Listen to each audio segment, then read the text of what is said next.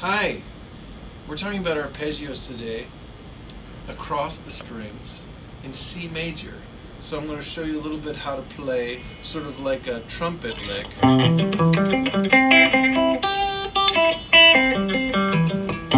Come on into the left hand real close. So you play like, oh, you want a little bit of angle, just like that. Perfect. Eight, seven, five, seven, five, The nice.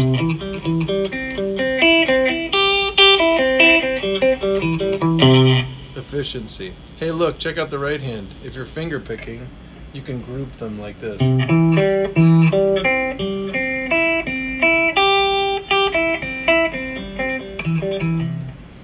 have that out of my hand. Let's see what I do. You can prepare all the fingers at once, ascending.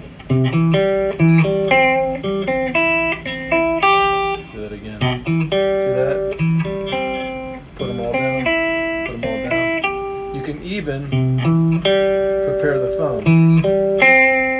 Oops. Like that.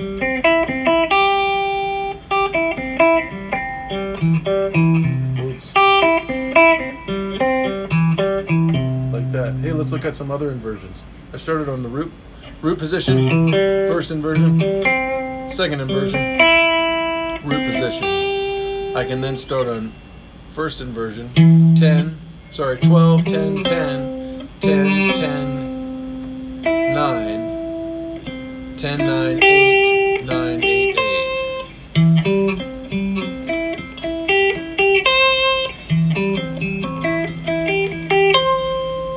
And I can do the same thing. Oh my gosh, way up here, there's no room for all these fingers. 15, 15, 14, 15, 14, 12, 14, 12, 13, 12, 13, 12.